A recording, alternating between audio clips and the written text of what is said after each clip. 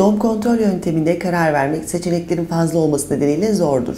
En iyi metot uzun süreli kullanılabilen ve istikrarla kullanılabilen, rahatsız edici yan etkileri olmayan metottur.